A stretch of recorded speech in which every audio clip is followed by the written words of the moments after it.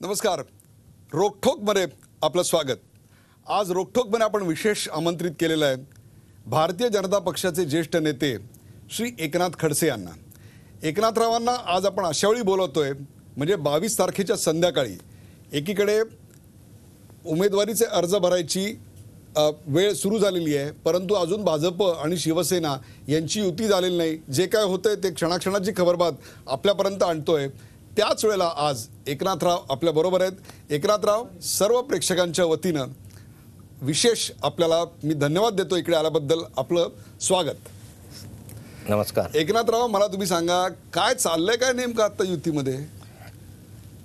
नाही सध्या तरी वरून वरून आलबेल दिसत आहे वरून वरून? आलबेल दिसत आहे आणि कालपासून तर आजपर्यंत चर्चा थांबलेलीच आहे. मला वाटतं पितृपक्ष आहे. कारण अजून पितृपक्षाला दोन दिवस वेळ आहे. अजून पिंडाला कावळा शिवायचा आहे. आणि दोन दिवसानंतर हा कावळा शिवणार आहे का येणार आहे का येणार नाही हे आपल्या लक्षात येणार आहे. पण एक वेळ होऊनच जाऊ द्या अशी काही जणांची स्थिती आहे एक वेळ प्रेमाने घ्या अशी स्थिती आहे. शेवटी काही अशी स्थितीमध्ये आहे की देदान सुटे ग्रहण. एक वेळ दान तुमचं ग्रहण आहे अशा विचार स्थितीपर्यंत आपण आणि आपला पक्ष आलेला आहे? नाही ग्रहण काळ आहे. ग्रहण आहे असं नाही म्हणत मी. हा ग्रहण काळ. आहे. या ठिकाणी अत्यंत चांगले दिवस आम्ही उपभोगले तसे वाईट दिवसही उपभोगले. आणि आत्ताचा सध्याचा पितृपक्षाचा हा कालखंड हा ग्रहण काळ आहे. हा पंचवीस वर्षामधला हा अलीकडच्या कालखंडामधला चढउतारा हा कधी अनुभवलेला नाही. तो आत्ता अनुभवात येतो आहे. आणि हे ग्रहण लवकर सुटावं अशी आमची अपेक्षा आहे. पण तुम्हाला सुटावं असं वाटतंय अशी चिन्ह कुठेही दिसत नाहीये तो. पोपट मेलेला आहे युतीचा पोपट मेलेला आहे हे जाहीर करायला एवढा वेळ का लावताय? आणि मेलेला असला तरी त्याला जाहीर करायचं का नाही करायचं या ठिकाणी तपासल्याशिवाय निर्णय घेणं मोठा अवघड आहे. किती काही जणांना? काही जणांना अजूनही वाटतं की याच्यात दुखदुखी आहे. आणि तो जिवंत होण्याची शक्यता आहे. आणि काहींना वाटतं काय काही केलं आयमध्ये आहे? समोर बसतायत वाट बघत आहेत आणि अर्धे लोक विचारतायत का हो बाप आय सी मधून निघालं रे निघालं बाहेर की आज चेहऱ्यानं बघतात आमच्याकडे आणि म्हणतात खडसे साहेब गेला की राहिला कोण विचारतात सेनेचे लोक विचारतात की भाजपचे? काय दोघांचे? सेनेचा कार्यकर्ते मला फोन करतो रसाळाचा आणि विचारतोय पेशंट गेला का राहिलाय आणि मी सांगतो अजून वेळ आलेली नाही. आय सी यूमध्ये आहे. ऑक्सिजन लावलेला आहे. आणि ऑक्सिजन जोपर्यंत आहे तोपर्यंत तरी सांगता येईल की हा जीवन काढायचा मुहूर्त कुठला आहे? ते काय आहे की असं पितृपक्षामध्ये अशा रीतीचं काढणं हे योग्य होणार नाही. मला वाटतं की अजून दोन तीन दिवस लागतील. जिवंत राहायचं की मरायचं का गेला का नाही गेला. म्हणजे तुम्ही दोन दिवस बघा. घ- घटस्थापनेच्या दिवशी दोनशे अठ्ठ्याऐंशी भाजपचे शिलेदार उमेदवारी अर्ज दाखल करतील असं जाहीर करूया आपण? ते दोनशे अठ्ठ्याऐंशी जाहीर करतील त्या दिवशी का नाही दिवशी मला सांगता येणार नाही. पण परंतु एक गोष्ट नक्की आहे या संदर्भामध्ये. की कालपासून तर आता या क्षणापर्यंत मी पाहतो की चर्चाच थांबलेली आहे. आता चर्चा थांबली आहे म्हणजे हातापायचं दळणवळण थांबलेलं आहे नजर एका बाजूला वळलेली आहे खालची छाती काही धडधडत नाही. याचा अर्थ असा दिसतोय की तयारी सुरू झालेली आहे. तयारी सुरू झाली आहे खडसे साहेब. फक्त दोन दिवसांनी मारणार आहे असं साधारण तुमच्या बोलण्यावरनं वाटतंय. पण याची कारणं काय आहेत? युती तुटण्याची कारणं काय आहेत? नाही युती अजून तुटली नाही. परंतु कारणं वेगवेगळे असू शकतात. माझं म्हणणं आहे आमची प्रामाणिक इच्छा आहे की युती तुटू नये. अजूनही मला आशा आहे की त्या पोपटाने जिवंत व्हावं आणि भराभरा उडावं. परत तेच आनंदाचे दिवस यावेत.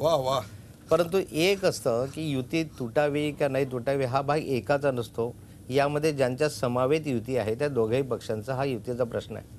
अलीकडे मी पाहिलं या संदर्भामध्ये असे प्रसंग अनेकदा आलेत आणि कमीत कमी मी तरी असं आहे एक पंचवीस वर्षापासून जेव्हापासून युती झाली तेव्हापासून त्या युतीच्या कार्यकर्त्यांबरोबर नेत्यांबरोबर मी काम करणारा कार्यकर्ता आहे. त्या यादीचा मला आता चाळीस पंचेचाळीस वर्ष झाले काम करतो. परंतु यावेळचं प्र ही परिस्थिती वेगळी आहे. यावेळेस देशामध्ये भारतीय जनता पार्टीचं एक हाती सत्ता आलेली आहे सरकार आलेलं. आहे हा एक बदल आहे. त्या पंचवीस वर्षामध्ये असं कधी घडलं नव्हतं की केंद्रात आमचं सरकार आहे. आता युती तुटण्याच्या संदर्भामध्ये जोडण्याच्या संदर्भामध्ये सध्या ज्या काही चर्चा सुरू आहे त्या काही ठिकाणी जागा वाटपाच्या संदर्भामध्ये आहे काही ठिकाणी मुख्यमंत्री कोण होणार याच्यावरून चर्चा आहे की भाजपचा मुख्यमंत्री होईल का शिवसेनेचा मुख्यमंत्री होईल? भारतीय जनता पार्टीला मुख्यमंत्री कोण होणार किंवा काय होणार याच्यामध्ये रस नाही आहे आम्हाला एवढं माहिती आहे की ज्याचा जागा जास्त तो मुख्यमंत्री. सेनेच्या जागा जास्त आल्या त्यांचा मुख्यमंत्री. भाजपच्या आला तर भाजप. यापेक्षाही सर्वात जास्त प्राधान्य भारतीय जनता पार्टी देणार असेल तर या राज्याच्या विकासाला. आम्हाला नेहमी खंत राहिली माझ्या मनात तर नेहमी राहिली. मी मी या राज्याचा अर्थमंत्री म्हणून राहिलेलो आहे. आणि माझ्या मनात हे मी आजूबाजूला पाहतोय गुजरातसारखं एवढंसं लहानसं राज्य. मध्य प्रदेश छत्तीसगडसारखं विकसित राज्य.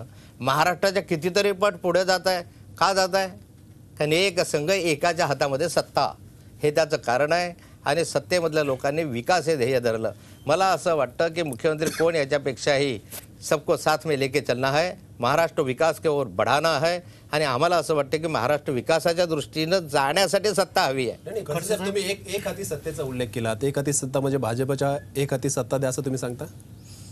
ते आता पोपट मरणार आहे गृहीत धरून किंवा तो जर मेला तर एक हाती सत्ता. हा शब्द कसरत चालली हो. तुमची तुमची? अजून एकदा हा- कसरत चालली एकदा आता बनालो हे आप. दोन दिवस तर कसरत करावीच लागणार आहे मला. साहेब मी काय म्हणतो? माझा माझं म्हणणं आहे की माझं प्रामाणिक इच्छा आहे परंतु याच्यावरून असं मला वाटत नाही की युती आता राहील का जाईल. म्हणजे राहील. असं मला आता वाटत नाही. कारण त्याच्यामध्ये असं आहे, युती राहावी ह्याच्या असंख्य शिवसैनिकांची असंख्य भारतीय जनता पार्टीच्या कार्यकर्त्यांची माझ्या सहित इच्छा आहे. माझ्या वरिष्ठांची पण इच्छा आहे. परंतु मला असं वाटतं की यामध्ये जे काही दोन चार पाच लोक असे दिसत आहेत की त्यांना असं वाटतं की ही युती राहू नये. कोण? कोण आहेत ते? आता ते तर शोधावेच लागतील तोच तर कौशल्याचा भाग आहे.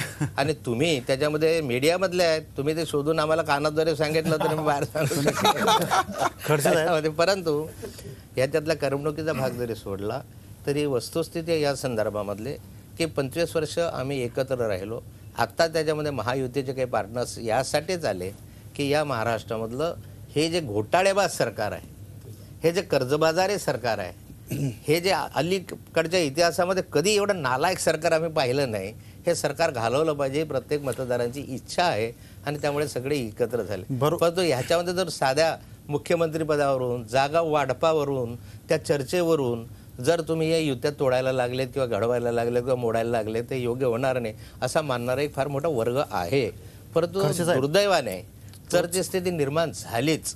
तर ते एकट्याच्या बळावर लढवण्याशिवाय आमच्याजवळ पर्याय राहणार नाही शिवसेनेजवळ राहणार नाही. नाही नाही तुम्ही युती आता तुटण्याच्या उंबरठ्यावर आहे पाच सात जागांसाठी तुमच्यात वाद सुरू आहे.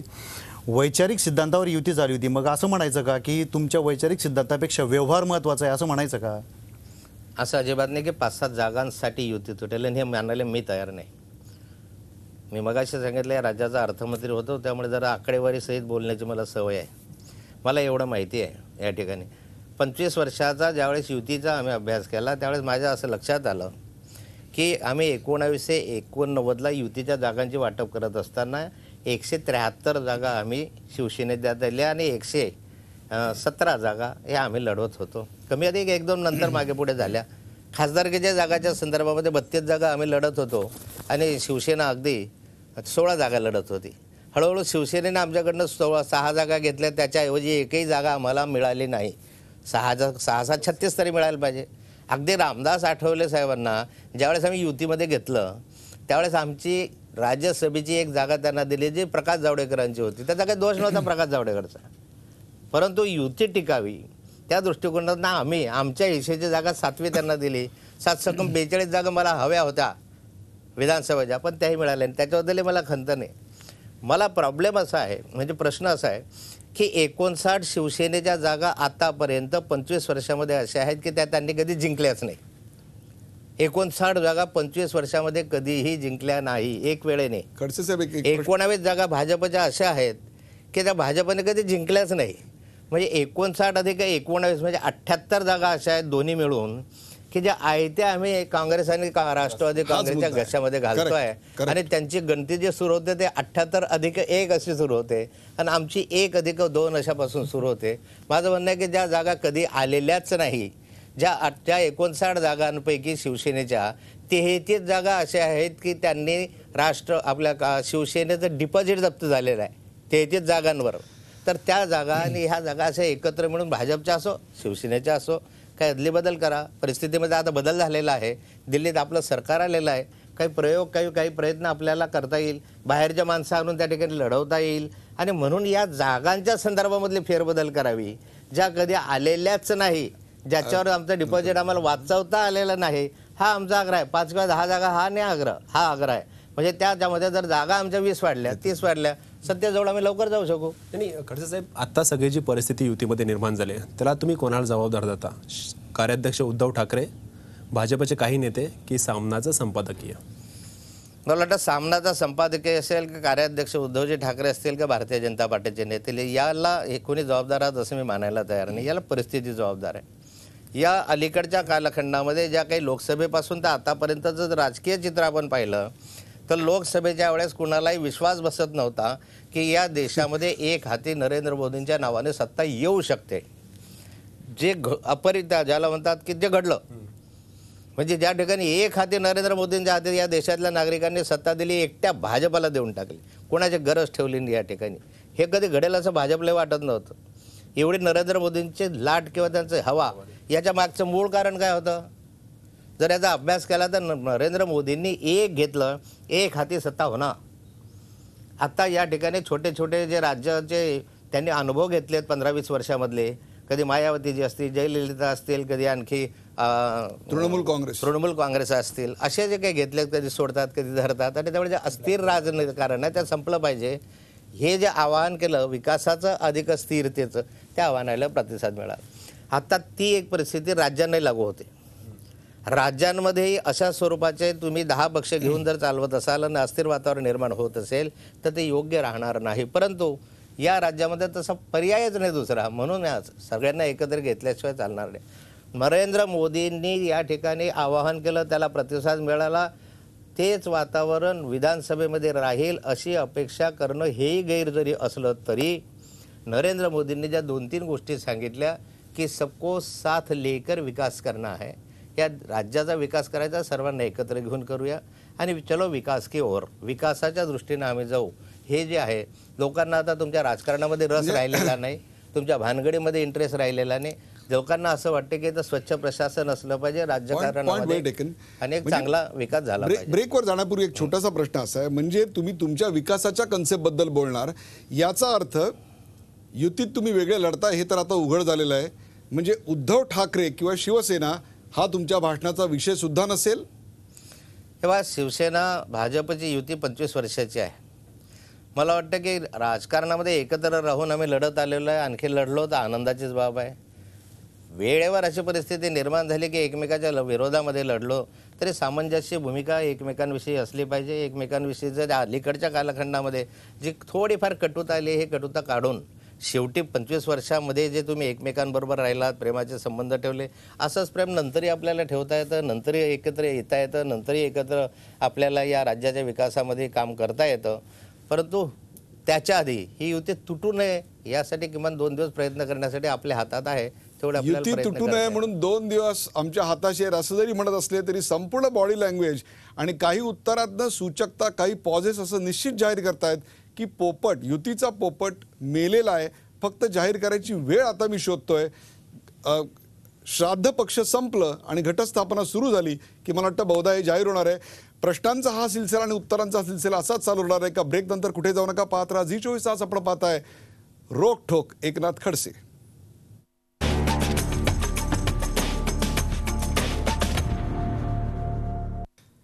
नमस्कार. रोकटोक एकनाथ खडसे या कार्यक्रमात पुन्हा आपलं स्वागत. आपण आज चर्चेचा सिलसिला चालू ठेवलेला आहे एकनाथ खडसे यांच्यासोबत. खडसे साहेब आत्ताची परिस्थिती पाहता युती होईल अशी चिन्ह नाही आहेत तुमची सोबळावर जाण्याची तयारी आहे का दोनशे अठ्ठ्याऐंशी? आणि तुम्ही सोबळावर सत्तेवर गेलात निवडणुकीला सामोरं तर तुमची एक हाती सत्ता येईल का? युती व्हावी यासाठी शेवटच्या क्षणापर्यंत आम्ही प्रयत्न करणार आणि तो केला पाहिजे. दुर्दैवाने युती नाही झाली तर शेवटी या राज्यामध्ये जेवढे काही प्रमुख पक्ष आहेत म्हणजे एन सी पी असेल काँग्रेस असेल त्यांचं काय धोरण असेल ते वेगळं ठरवतील.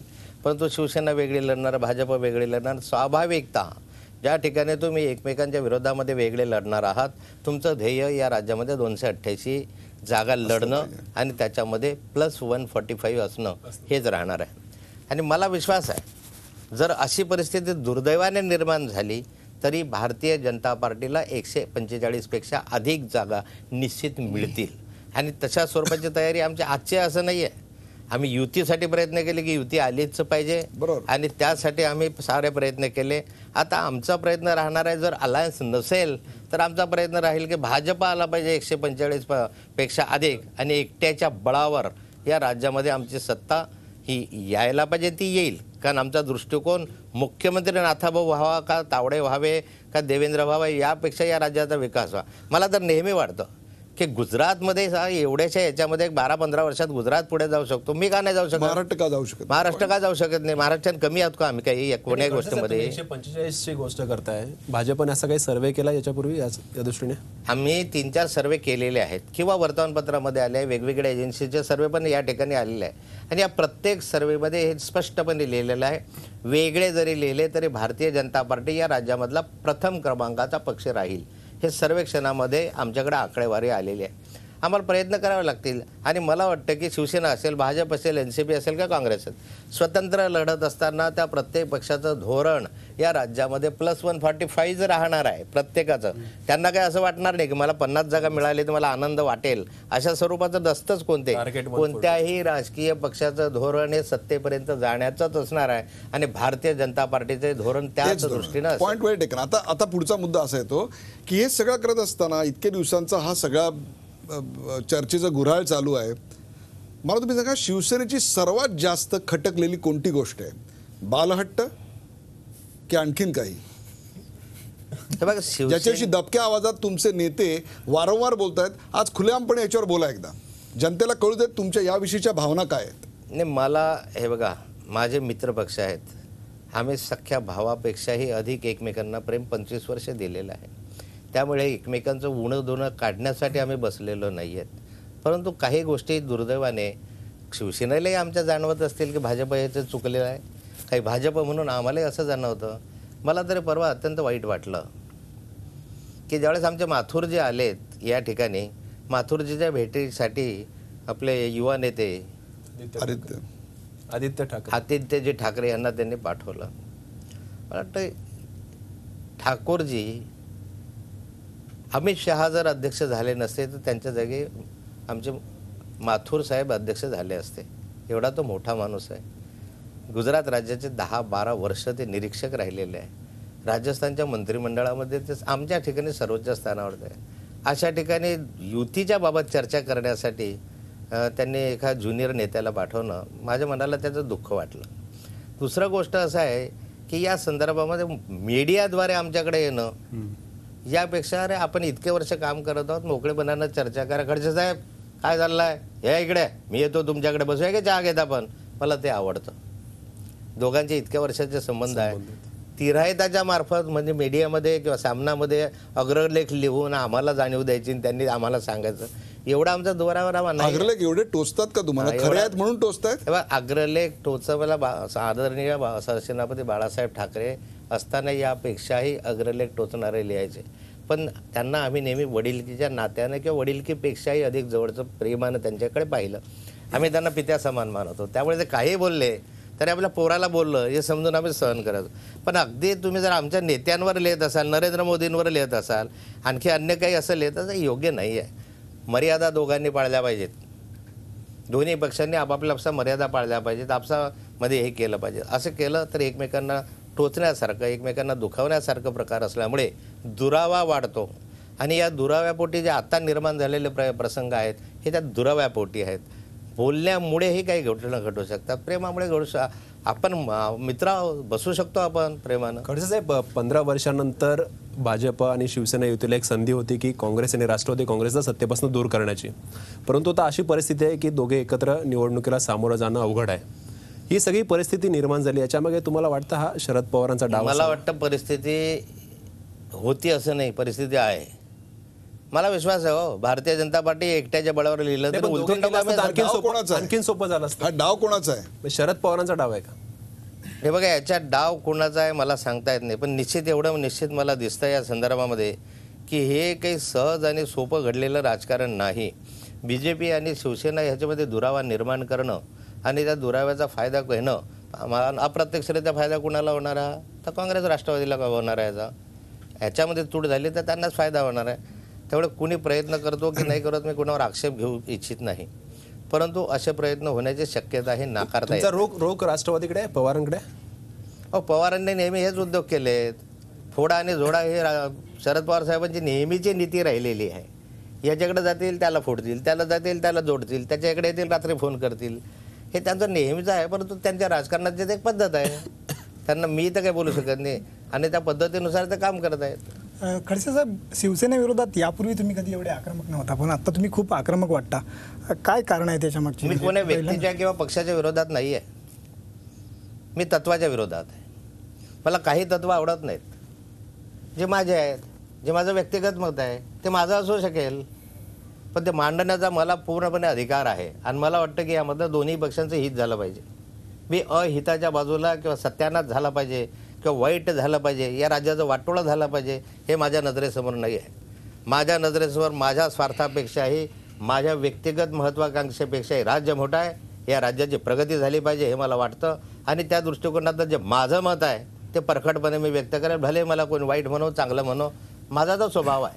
खडसे साहेब समजा जर युती तुटली तर तुमचे आता घटक पक्ष जे आहेत त्यांच्या पालकत्वाची जबाबदारी तुम्ही घेणार आणि त्याच्यासह आणखी मनसे हा एक फॅक्टर आहे तर तुम्ही यांच्यासोबत जाणार की त्यांना सोबत घेणार त्यांची मदत घेणार हे इक्वेशन कसं हे बघ मनसे सुद्धा तुम्ही हां. युतीमध्ये त्यांच्यासाठी जागा सोडणार का यस युतीमध्ये जे महायुतीमध्ये आमच्याबरोबर जे घटक पक्ष आहे त्यांच्यामध्ये आम्ही म्हणजे याचा जागा अर्थ या सोडणार. क्षणाची सर्वात मोठी बातमी अशी आहे की शिवसेनेला वगळून महायुती इंटॅक्ट आहे असं आता खडसे साहेब म्हणतायत महायुतीमध्ये जे घटक पक्ष येऊ इच्छितात त्यांच्या जागाच्या संदर्भामध्ये आमची तडजोड किंवा ज्या जागा आम्ही देऊ इच्छितो त्या निश्चित आम्ही त्यांना देणार. आमचा पहिला प्रयत्न राहिला आहे शिवसेना भाजप युतीसहित घटक पक्षांची महायुती. एक पहिला. हे जर नसेल तर भाजप अधिक घटक पक्षांसहितची महायुती. आणि त्यामध्ये जे येतील त्यांना सामावून घेण्याचा आमचा प्रयत्न राहू. त्यांना सन्मानपूर्वक सांभाळण्याची जबाबदारी आम्हाला उचलावी लागेल. आणि त्या दृष्टीने नवीन नवीन इक्वेशन या महाराष्ट्रामध्ये निर्माण आम्ही त्यांच्या मदतीने करू. मनसे हा भाग आमच्याबरोबर घेण्याचा प्रश्नच येत नाही. मनसे हा वेगळा पक्ष आहे. आजपर्यंत कधीही मनसे हा व्यापक दृष्टिकोनातनं महाराष्ट्रामध्ये आमच्याबरोबर नव्हता. शिवसेना आणि भाजप हा आमचा व्यापक पक्ष आहे. एकत्र युती आहे आणि त्याच्याबरोबर आम्ही या. विधानसभेत त्यांच्यासोबत कुठल्याही स्वरूपाचं अंडरस्टँडिंग नसेल नसेल निश्चित नाही या विधानसभेच्या? निवडणुकीमध्ये या विधानसभेच्या निवडणुकीमध्ये मनसे हा फॅक्टर भारतीय जनता पार्टी किंवा भारतीय जनता पार्टी महायुती यांच्याबरोबर नसेल याची निश्चित या महाराष्ट्रातल्या जनतेला मी खात्री देतो. खडसे साहेब तुम्ही एकशे पंचेचाळीसचं टार्गेट म्हणताय. सोबळावर निवडणूक लढवली तर तुमचं टार्गेट एकशे पंचवीस असणार आहे.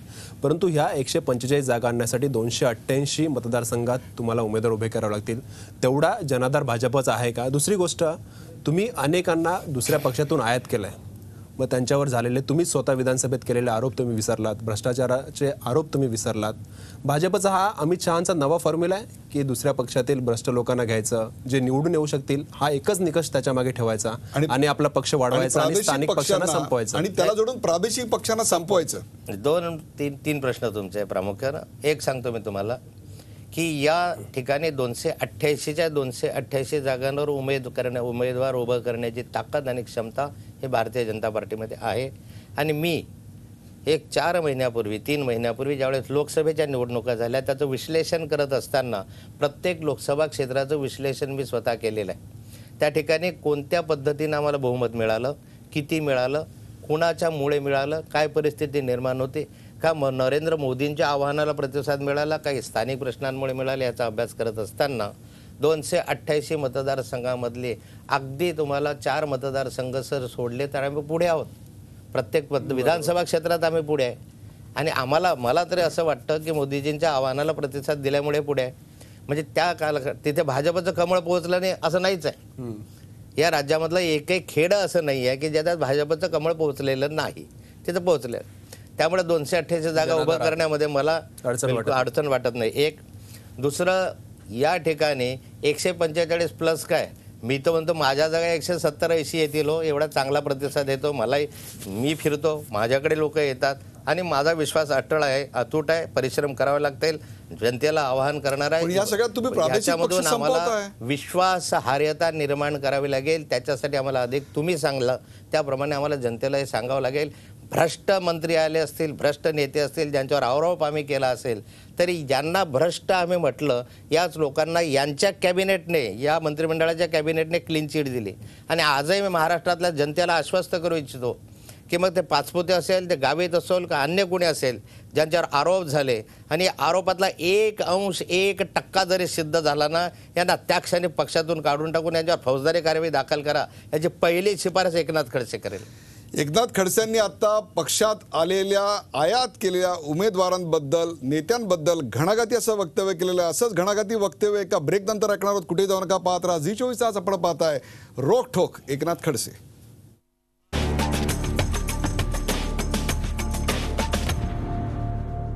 नमस्कार. रोकटोक एकनाथ खडसेमध्ये आपलं स्वागत. पुन्हा एकदा आपल्यासोबत आहेत एकनाथ खडसे. एकनाथ खडसे मगाशी ब्रेकवर जाण्यापूर्वी आपण प्रश्न मी तुम्हाला विचारला होता. तो होता तो प्रादेशिक पक्षांबद्दल अतिशय पद्धतशीररित्या सत्ता आल्यानंतर तुम्ही अत्यंत निर्घृणपणे प्रादेशिक पक्षांच्या अस्मिता ठोकरान लावताय त्यांना संपवताय. त्याची उदाहरणं हरियाणात पाहिली आणि ज्या शिवसेनेच्या बळावर तुम्ही मोठे झालात त्या शिवसेनेला आता तुम्ही एकटे सोडताय. मुळामध्ये हा गैरसमज आहे की छोट्या पक्षांना आम्ही मोठं झाल्यानंतर त्यांना अं, संपवत. संपवण्याचा प्रयत्न केला. आणि शिवसेनेच्या बाबत तर अजिबात नाही. मला आठवतं की एकोणावीसशे ऐंशीला ज्यावेळेस भारतीय जनता पार्टीची स्थापना झाली आणि या महाराष्ट्रामध्ये पहिल्यांदा विधानसभेच्या निवडणुका झाल्या त्या निवडणुकीच्या कालखंडामध्ये भारतीय जनता पार्टीचे चौदा सदस्य हे कमळाच्या चिन्हावर निवडून आले. त्यावेळेस शिवसेनेच्या धनुष्यबाणावर एकही नव्हता. शिवसेना अस्तित्वात नव्हती का? तर होती. सत्याहत्तरला महानगरपालिका त्यांनी लढवली होती त्याच्या दोन शिवसेनेची स्थापना झालेली होती विस्तार होता. एकही नव्हता. एकोणीसशे पंच्याऐंशीला ज्यावेळेस विधानसभेच्या दुसऱ्यांदा निवडणुका झाल्या त्यावेळेस कमळाच्या चिन्हावर भारतीय जनता पार्टीच्या महाराष्ट्राच्या विधानसभेमध्ये सोळा सदस्य होते. शिवसेनेचा एकही नव्हता. आल्यानंतर भुजबळ साहेब पहिल्यांदा कमळाच्या आपल्या शिवसेनेच्या धनुष्यबाणावर विधानसभेमध्ये एकमेव एकमेव भुजबळ साहेब त्या कालखंडात आले. अगदी मनोहर जोशींना सुद्धा कमळाच्या चिन्हावर निवडून निवडणुकीसाठी यावं लागलं. म्हणजे प्रादेशिक पक्ष छोटा ज्यावेळेस शिवसेना होता आहे त्यावेळेस आमचं चिन्ह घेऊन मनोहर जोशी त्या कालखंडात उभे होते. एकोणावीसशे एकोणनव्वदला ज्यावेळेस युती झाली म्हणजे लोकसभेमध्ये एकही एकोणनव्वदच्या आधी शिवसेनेचा लोकसभा सदस्य नव्हता. त्या कालखंडात दोन सदस्य आमच्या चौऱ्याशीला होते. आम्हाला हिणवायचे धामदो हमारे दो वगैरे वगैरे. आमच्या नंतर एकोणनव्वदला एकशे वीस झाले ऐंशी झाले एकशे वीस झाले वाढत गेले. आणि त्या कालखंडामध्ये शिवसेनेने भारतीय जनता पार्टी बरोबर लोकसभेत प्रवेश केला. आणि विधानसभेमध्ये ज्यावेळेस नव्वदला आमच्या निवडणुका झाल्यात त्यावेळेस पहिल्यांदा शिवसेना भारतीय जनता पार्टीच्या अलायन्समुळे त्या ठिकाणी पहिल्यांदाच शिवसेना ही चाळीसच्या वर जागा घेऊन पण विधानसभेमध्ये आली पहिल्यांदा आली. नंतरच्या कालखंडामध्ये पाहिलं शिवसेना भाजपची युती होती त्यामुळे दोघंही आम्ही कधी. पंचेचाळीस वाढत गेलो. कोणताही प्रादेशिक पक्ष असेल लहान पक्ष असेल मोठ्या पक्षाच्या बरोबर जाऊन तो संपत नसतो. जर मोठ्या पक्षाच्या आधारावर जायचं असेल तर त्याने तोही मोठा होत असतो. एक पण त्याच्यात प्रामाणिकता हवी असते. ही प्रामाणिकता या युतीमध्ये आम्ही पंचवीस वर्ष ठेवली आणि त्यामुळे शिवसेनेचा इतका विस्तार सर्वत्र होऊ शकला आणि भाजप तर नॅशनल पार्टी आहे भाजप. म्हणजे भाजपमुळे हा विस्तार शिवसेना झाला असा दावा तुम्ही करता? बिलकुल दोघांची एकमेकांना मदत झाली. जर त्या भारतीय जनता पार्टीचा राष्ट्रीय पक्ष आहे तो महाराष्ट्रात नसता वाढला तर मध्य प्रदेशात वाढला असता. अगदी जनसंघाच्या कालखंडापासून तर कमळ आलं त्याच्यापासून आम्ही महाराष्ट्राच्या पलीकडे जाऊन उत्तर प्रदेशामध्ये माझं सरकार होतं सदुसष्टला. आम्ही सदुसष्टला सरकारमध्ये होतो. राजस्थानमध्ये पहिल्यांदा आमचे अकरा आमदार निवडून आलेले होते त्या कालखंडात. त्याच्याही यादीपासून. अगदी ज्या ज्या ठिकाणी मध्य प्रदेशसारखं असेल उत्तर प्रदेश असेल बिहार असेल आणि दिल्ली अशा राज्यांमध्ये जनसंघाच्या कालखंडामध्ये आमच्या आमदार किंवा सत्तेमध्ये आम्हाला स्थान मिळत गेलेलं होतं. त्यामुळे महाराष्ट्रामध्ये सुद्धा आमचा प्रामाणिक प्रयत्न राहिला की शिवसेना ही वाढलीच पाहिजे का दोघं वाढल्याशिवाय सत्तेमध्ये आम्ही येऊ शकत दोघं वाढले पाहिजे असं तुम्ही म्हणत असाल तरी सध्याचे तुमचे संबंध सध्याचं एकमेकांबद्दलचं वक्तव्य एकमेकांबद्दलचा असला संशय अविश्वास वक्तव्य हे जे सगळं जनतेसमोर येतं आहे हे पाहिल्यानंतर या निवडणुकीत मतदारांनी तुम्हाला मत का द्यावं? काय असं आहे की तुमच्या पंधरा दिवसातलं तुमचं वर्तन पाहिलं तुमच्या युतीच्या पक्षातलं जी वक्तव्य पाहिली जनतेने तुम्हाला निवडावं कशा करता हो? हे मतदार हा सुज्ञ आहे. मला वाटतं की दूध का दूध पाणी का पाणी करण्याची क्षमता मतदारांमध्ये आहे. त्याच्यामध्ये किती प्रामाणिकता आहे किती किती अप्रामाणिकता नाही किती विश्वासार्हतेनं बोलतात किती अविश्वास आहे व्यक्तिगत किती याच्यामधलं तुम्ही बोलू शकतात आणि तुमचं व्यक्तिगत जीवन कसं आहे हे सगळं तर जवळून दुरून ऑब्झर्व करत असतो. अशा कालखंडामध्ये मतदारांच्या संदर्भामध्ये आमचं आव्हान हे सातत्यानंच राहिलेलं आहे ते विकासाचं आव्हान राहिलं आहे मला तरी आम्ही सातत्यानं दहा वेळाने आणखी मला पन्नास वेळा जरी कोणी विचारलं तरी मला हे सातत्यानं खंत झाली. जरी मध्य प्रदेश छत्तीसगड गु- गुजरातमध्ये माझे सरकार असले तरी मला असं वाटतं की छोटे छोटे राज्य महाराष्ट्राला ठेंगा दाखवतात. आमच्या जेवढी ताकद नाही. मराठी माणूस एवढा कमजोर आहे. आम्ही याच्यापेक्षा पुढे जाऊ शकतो ही माझी भावना आहे. आणि या भावनेपोटी जिथं प्रामाणिकपणा असेल विकासाचा लोक मला मदत करतील. माझ्या मनामध्ये अप्रामाणिकपणा असेल नुसत्या स्वार्थाची भावना असेल लोक मला काढून फेकून देतील. पण मला विश्वास आहे की आमची भावना ही विकासाची आहे. महाराष्ट्र पुढे गेला किती वर्ष आम्ही मागे गेलो. या घोटाळेबाज लोकांनी महाराष्ट्राचं नाव बदनाम करून टाकलं. कशामध्ये पहिला आलो आम्ही? तर या महाराष्ट्रामध्ये चोरी दरोडेखोरी बलात्कार फिरवती याच्यामध्ये आम्ही पहिल्या क्रमांकावर आहोत. हा देशाचा अहवाल सांगतो. शेतकऱ्यांच्या आत्महत्याचा आम्ही पहिल्या क्रमांकावर आहोत. महाराष्ट्र अंधारामध्ये सर्वात जास्त आहे पहिल्या क्रमांकावर आहोत. कर्ज. अरे महाराष्ट्रामधलं कर्ज तीन लाख दहा हजार कोटी रुपयाचं कर्ज आहे कर्जबाजारी करून ठेवलं. हा आमच्या तिजोरीमध्ये खळखळा आहे उंदीर फिरतात. दररोज कर्ज काढून यांना राज्य करावं लागतो पगार द्यावं लागतो याच्यासाठी आम्ही हे करावं लागतं. हे राज्य काय याच्यासाठी आहे काय? याच्यापेक्षा एक नवीन राज्याची कल्पना आमच्या नजरेमध्ये आहे. हे राज्य विकासाच्या दृष्टीने जावं शेती संपन्न व्हावी. चोवीस तास आम्हाला वीज देता यावी. सर्वसामान्य मध्यमवर्गीयाला घरं मिळावे. या ठिकाणी गोरगरिबांचा आधार मिळावा. जो दीन दलित आहे आदिवासी आहे त्याचं कुपोषण थांबलं जावं त्याच्यावर अन्याय दूर व्हावा यासाठी प्रयत्न करण्यासाठी आम्हाला राज्य हवं आहे आम्हाला आमच्या स्वार्थासाठी स्वार्थ जर वापरला जनतेने आम्हाला हाकलून दिलं पाहिजे खरं नाही पण खडसे साहेब तुम्ही सांगताय स्वार्थासाठी आम्हाला राज्य नको पण आम्ही गेले काही दिवसात बघतोय भाजपमध्ये मुख्यमंत्री पदासाठी ज्याप्रमाणे स्पर्धा जागले त्यावेळेला हे सगळे मुद्दे बाजूला झाले. म्हणजे गेल्या दहा दिवसामध्ये पंधरा दिवसामध्ये ना राष्ट्रवादीच्या भ्रष्टाचारावर कोणी बोललं ना इतर अ, गैरकारभारावर कोणी बोललं जे मीडिया समोर येत होतं जे भाजपमधून समोर येत होतं ते एकमेकांमध्ये मुख्यमंत्री बनण्यासाठी लागलेली स्पर्धा समोर येत होती. काही गोष्टी मीडियाचा आदर ठेवूनही मी बोलू इच्छितो यामध्ये. दररोज मला मुख्यमंत्री व्हायचं आहे गुडघ्याला वासिंग घेऊन फिरणारे लोक भाजपमध्ये आहेत असं चित्र एक निर्माण करण्याचा प्रयत्न केला गेला. परंतु मला असं वाटतं मी मला मग एका दिवशी विचारलं तुमची इच्छा आहे का? म्हटलं बघा राजकारणामध्ये कुणी माणूस काम करत असतं त्यांना इच्छा ठेवणं गैर आहे अशातलं नाही. परंतु तेवढ्याचसाठी काम करत राहणं हे चुकीचं आहे. राज्य पहिलं या राज्याचा विकास पहिला आणि नंतर तुमच्या व्यक्तिगत भावना आहेत. आणि याच्यामध्ये अगदी विनोद तावडे असतील मी नावं सहजगत्या येत गेलेत नावं गेले पण याचा अर्थ आम्ही सातत्याने सांगितलं या मुख्यमंत्रीपदापेक्षा आम्हाला आम्हाला या राज्याचा विकास पहिला आहे.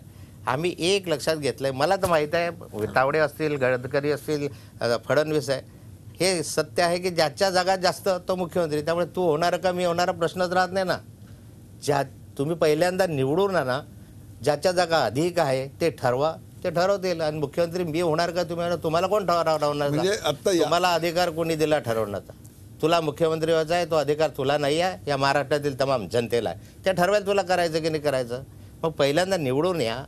महायुती म्हणून असेल का युती म्हणून असेल का एकटं म्हणून असेल या राज्य वन फॉर्टी फाईव्ह प्लस जा. आणि त्याच्यासाठी विकासावर जोर द्या. तो असेल तर या राज्याचा मुख्यमंत्री हा जनतेनं निवडलेला असेल तो कोणाच्या मर्जीचा नसेल एकाच्या अशा प्रकारचं रोखठोक प्रतिपादन आता केलंय.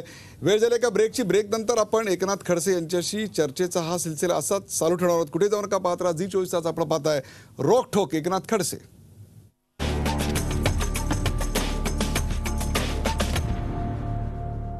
नमस्कार. रोखठोक एकनाथ खडसे. या कार्यक्रमाच्या शेवटच्या भागात आपलं स्वागत. एकनाथ खडसे यांच्याबरोबर प्रश्न आणि उत्तरांचा हा सिलसिला असाच कायम राहणार आहे. खडसे साहेब मुंडे साहेबांच्या दुर्दैवी निधनानंतर भाजपमध्ये एक मुख्यमंत्री पदाची स्पर्धा सुरू झाली. तुम्ही या स्पर्धेमध्ये काहीसे उशिराने सामील झालात? किंबहुना तुम्हाला प्रोजेक्ट गोपीनाथराव मुंडे हे आमचे नेते होते आणि ते असते तर मुख्यमंत्र्याचे पहिले दावेदार आम्ही मुख्यमंत्री म्हणून गोपीनाथ मुंडेंकडेच पाहत होतो. अगदी मी या स्पर्धेमध्ये उशिरा जॉईन झालो वगैरेचा प्रश्न नाही. आजही मी मुख्यमंत्रीपदाच्या शर्यतीत नाही. माझी पहिली प्रायोरिटी या राज्यामध्ये सरकार आणणं सरकार आणल्यानंतर पक्ष ठरवेल जनता ठरवेल बहुमत ठरवेल की कुणाला प त्याच्यामध्ये मुख्यमंत्री करायचं आणि कुणाची याच्यामध्ये पात्रता आहे. आणि त्यानुसारच आहे. परंतु निवड त्या स्पर्धेसाठी राजकारण बिघडावायचं किंवा त्या स्पर्धेसाठी भानगडी करायच्या या विचाराचा मी अजिबात नाही. मला पहिल्यांदा असं वाटतं की या राज्यामधलं हे घोटाळेबाज सरकार गेलं पाहिजे आणि इथं सरकार आमचं आलं पाहिजे. उत्तर महाराष्ट्राला नेतृत्व मिळावं अशी तुम्ही खंत व्यक्त केली होती मात्र ती तुम्ही बोलून दाखवली होती. मला असं वाटतं की या साठ वर्षाच्या कालखंडामध्ये जेव्हा स्वातंत्र्य मिळालं सत्तेचाळीस नंतर आज जवळपास दोन हजार चौदाला इतक्या वर्षाच्या कालखंडामध्ये उत्तर महाराष्ट्राचा विचार मुख्यमंत्री पदासाठी किंवा नेतृत्वासाठी कधीही झाला नाही. यासाठी नेते झाले नाहीत का? तर झालेत. आदरणीय स बाळासाहेब चौधरी अत्यंत सचिल काँग्रेसचा कार्यकर्ता वर्षानुवर्ष काम केलेलं स्वातंत्र्य चळवळीतला परंतु पात्रता असताना संधी मिळाली नाही असं माझं मत होतं. आमची लॉबी कमी पडली. रोहिदास दाजेंनी प्रयत्न केले असतील त्या ठिकाणी त्यांचे प्रयत्न होते. माझ्याकडे प्रतिभाताई पाटील साहेब आमच्या मतदारसंघातून तर राष्ट्रपतीपदापर्यंत गेल्यात. त्या अनेक वर्ष मंत्री राहिल्यात. अगदी पात्रता होते त्यांच्यामध्ये मुख्यमंत्रीपदाची पण दुर्दैवाने आम्ही लॉबिंग करण्यात म्हणा का अन्य कशामध्ये आम्ही कमी पडलो दुर्दैवाने होऊ शकलं नाही. लॉबिंगचा विषय काढला उत्तर महाराष्ट्राचं लॉबिंग कमी पडतं कारण आता भाजपकडनं लॉबिंग करायचं तुमच्या दृष्टीने तर तिथे जास्त जागा निवडून आल्या पाहिजेत. मुख्यमंत्री- याच दृष्टीने तुम्ही विजयकुमार गावितांना भाजपमध्ये घेतलं भ्रष्टाचार त्यांचा जो आहे तुम्ही स्वतः विधानसभेत त्यांच्यावर आरोप करत होता भ्रष्टाचाराचे. पण त्या गावितांना तुम्ही भाजपमध्ये घेतलं. याच्यामागे एक असं होतं की तुमचा वर्चस्व उत्तर महाराष्ट्रावर वाढावा. याला कारण असं माहिती का की त्यांना जेव्हा घेतलं तेव्हा इतर पक्षाचा एकही नेता उपलब्ध नव्हता. मला असं वाटतं की प्रवेशाला फक्त तुम्हीच होतात. भाजप हा भाजपचा एकही मोठा- नेता उप- उपस्थित नव्हता. एक तर पहिली बा- मी क्लिअर करू इच्छितो की डॉक्टर गावितांना घेत असताना हा विचार जरूर केला होता की मीच त्यांच्यावर आरोप केले तर त्याचं उत्तर मी मागच्या काला आ- मागच्या याच्यामध्ये दिलेलंच आहे. अगदी आरोपातलं काही एक टक्का एक पर्सेंट जरी कुठे ना कुठे कोर्टानं म्हणा अन्य म्हटलं तर मी स्वतःच त्यांना सांगेल की यांना तुमच्यावर काय कायद्यानं असेल ते कठोर कारवाई झाली पाहिजे. प्रश्न असा होता की स्वातंत्र्यानंतर आजपर्यंत भारतीय जनता पार्टीने म्हणा किंवा विरोधी पक्षाने म्हणा त्या भागामध्ये लोकसभेची जागा कधीही जिंकलेली नव्हती. ही जागा जिंकण्याची जिद्द आम्ही या कालखंडामध्ये ठेवली की नाही आम्हाला इतिहास करायचा मोडायचा आहे. म्हणून तुम्ही आणि. त्या संदर्भामध्ये डॉक्टर गावितांचे सगळे आरोप तपासूनच आम्ही त्यांना निर्णय घेतला की घेतला पाहिजे. आणि त्या सहकार्यानं आम्ही त्या ठिकाणी तिथे आमच्या हिना गावित म्हणून त्याला विजय त्या ठिकाणी जनतेला मिळवून दिला. हा एक भाग त्याच्यामध्ये आहे. दुसरा भाग आहे की मुख्यमंत्री हा काही कोणा जातीचा कोणा पक्षाचा कोणा विचाराचा म्हणून त्या भागासाठी नाही आहे त्या भागाचं नेतृत्व करत असताना तिथे सर्व पक्षीयांच्या यांनी लॉबिंग केलं पाहिजे किंवा सर्व पक्षीय आमदार खासदार लोकांची ती इच्छा असली पाहिजे की आमच्या भागामध्ये मुख्यमंत्री व्हावा. त्याचा काही आम्हाला लाभ मिळू शकेल ही आशा आणि अपेक्षा लोकांच्या असतात. आणि आज मला वाटतं स्वातंत्र्यानंतरच्या साठ पासष्ट वर्षानंतर या भागाला न्याय मिळावा यासाठी तिथल्या जनतेनं आशा धरणं किंवा अपेक्षा करणं गैर आहे असं मला चुकीचं आहे असं मला नाही वाटतं. साहेब मी खानदेशातला आहे अंमळनेरचा आहे. त्याच्यामुळं खानदेश म्हटलं ना की तुम्ही मला दोन नावं सहकार्य पाहिजे आता. हो मी करणार मी सहकार्य. त्याच सहकार्याच्या भावनेने हा प्रश्न आहे. कारण खानदेश म्हटलं की दोन नावं समोर येतात राज्याच्या जनतेसमोर. ते म्हणजे एकनाथराव खडसे आणि सुरेश जैन. आणि यांचं प्रेम सर्वश्रुत आहे. त्याच्यामुळे हे तुमचं हे हे ह्या तुमचं जे प्रेमाचं नातं आहे याच्याविषयी थोडं जाणून घ्यायला आम्हाला आवडेल. कारण की अजून असं याला- म्हटलं जातं की अजून त्यांना तेवढं माहीत इतका नाही. वेळ- नेमकं त्यांना- कशामुळे हे प्रेम इतकं टोकाला गेलं? वृद्धिंगत झालं. काय कारणं काय आहेत? हे बघा प्रेमाविषयी तुम्ही म्हटलं तर माझं त्यांचं प्रेम काही कमी आहे अशातलं नाही. आणखी चांगला आहे प्रेमाचे संबंध आहेत. ते जरी अडीच वर्ष झाले जेलमध्ये असले तरी अधून विधून त्यांच्या प्रकृतीची वगैरे मी चौकशी करतो. मध्ये मी आजारी होतो त्यांनी माझ्या प्रकृतीची चौकशी केली. प्रश्न असा आहे की काही लोकांचा हा गैरसमज असतो की खडसे साहेब तुमच्यामुळे ते अडीच वर्ष जेलमध्ये राहिले. आता न्यायालय आहे हायकोर्ट आहे सुप्रीम कोर्टापर्यंत ते गेले. म्हणजे एकनाथ खडसे इतका मोठा माणूस नाही आहे की सुप्रीम कोर्टाचे जज माझा ऐकून ऐकतील आणि त्यांना जामीन देणार नाही. असं आहे की घरकुल घोटाळ्याच्या संदर्भामध्ये त्यांच्यावर जो आक्षेप घेण्यात आलेला आहे. त्यामध्ये काही स्पष्ट पुरावे असल्याशिवाय सुप्रीम कोर्ट हायकोर्ट किंवा सेशन कोर्ट ह्यांनी त्या संदर्भामधली ही भूमिका घेतलीच नाही आहे की त्यांना जामीन देऊ नये. घेतलाच मला आनंद आहे मला स्वागतच करेल. मी न्यायालयाच्या निर्णयाचा आदर करू आपण. एकनाथ खडसे साहेब ह्या कार्यक्रमाचा शेवट करताना आपल्यासमोर हा चेसचा बोर्ड दिसतोय. त्या चेसच्या बोर्डामध्ये काही प्यादी आहेत हत्ती आहे घोडा आहे उंट आहे वजीर आहे राजा आहे. महाराष्ट्राच्या सत्तेचा बुद्धिबळाचा पट आता मांडला जातोय. यातलं कुठलं तुम्हाला स्वतःचं प्रतीक असं वाटतं? घोडा हत्ती वजीर उंट का राजा? नाही मला तर या संदर्भामध्ये घोडा अधिक आवडतो राजकारणामध्ये कारण तो अडीच घरं चालतो. तो कोणाच्याही डोक्यावरून उडू जाऊ शकतो. हां. कोणाच्याही म्हणजे स्वपक्षीयांच्या पण. स्वपक्षाचा असो परकीय असो जवळ बसलेला असो तर स्व शेजाऱ्याला सुद्धा तो मोजत नाही किंवा विचारत नाही. मग तो त्याला ढाई घर बोलता आगे आणि तो जातो. म्हणजे आधी मला उंटावर फार प्रेम होतं कारण तो त्याचे चाल तिरकस राहायची. पण तर माझ्या लक्षात आलं तिरकस असलं मध्ये कोणी आडवा आला तर जाऊ शकत नाही. पण त्याचा घोडा असा आहे की मध्ये आडवा आलो का नाही तर सर्वांना आडवं करून तो पुढे जाऊ शकतो. म्हणून घोड्यावर जरा मी अधिक प्रेममध्ये कोणी आलं तर मध्ये कोणी आलं तर त्याला आडवं करून त्याच्या डोक्यावरनं उडी मारून सत्तेचा सोपान कसा गाठायचा आणि पुढे कसं जायचं ही कला इतक्या वर्षानंतर एकनाथराव इतक्या खुबीने शिकले आहेत की त्यांना या बुद्धिबळाच्या पटात घोडाच सर्वात जवळचा वाटला आणि तेच त्यांचं प्रतीक वाटलं. एकनाथराव या निवडणुकीसाठी आपल्याला आणि आपल्या पक्षाला अनेक शुभेच्छा. या कार्यक्रमासाठी आपण इतका वेळ काढलात त्याबद्दल. झी चोवीस तासच्या प्रेक्षकांच्या वतीने धन्यवाद. थँक्यू धन्यवाद. आभारी आहे.